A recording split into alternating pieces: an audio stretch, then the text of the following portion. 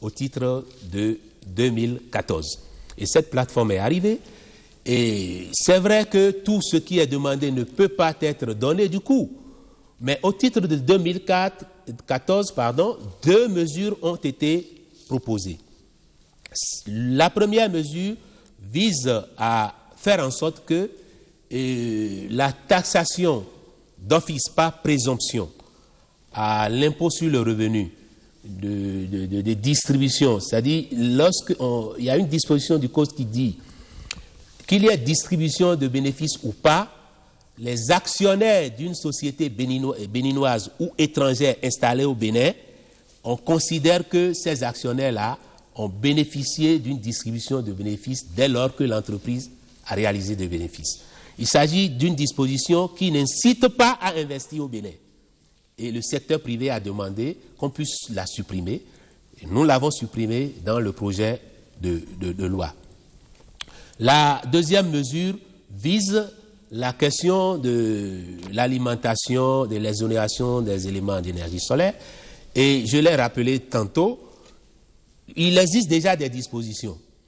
Et nous allons donc faire de la communication pour qu'on puisse vraiment bénéficier, les secteurs privés puissent bénéficier de ces dispositions qui existent. Mieux, nous poursuivons les réflexions parce que cette exonération est limitée aux droits de douane.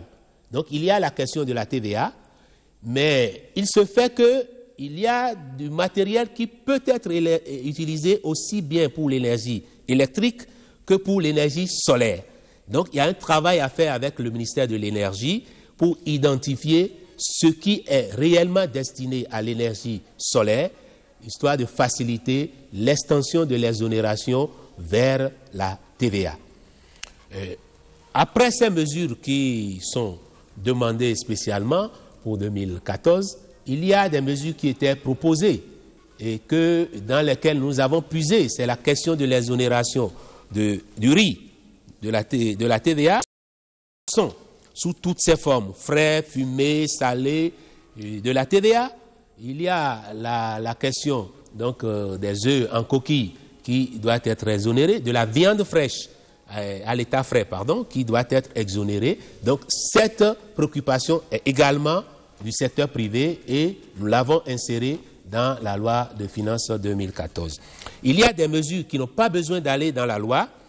Euh, notamment la question de la mise en œuvre du drawback et l'arrêté concernant donc euh, cette disposition douanière qui permet de faciliter aux industries l'acquisition euh, sans paiement de droits des, matières premières et, de payer par la suite donc euh, les, les, droits dus lorsque le produit fini est sorti donc de l'usine. Cette mesure sera mise en œuvre à partir du 1er janvier 2014.